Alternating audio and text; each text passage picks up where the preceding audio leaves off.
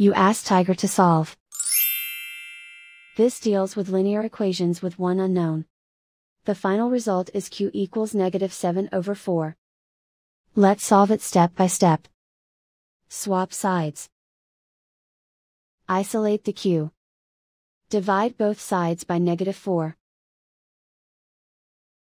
Cancel out the negatives.